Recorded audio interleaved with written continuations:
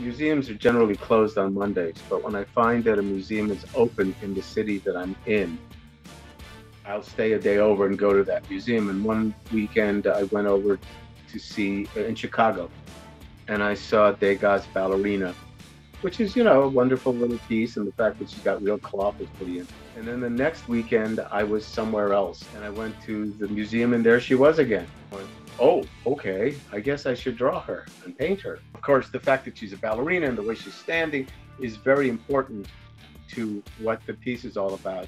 I was so intrigued by her face that I thought, how do I do both at the same time? And I just came up with the big face and then the girl standing in front of it.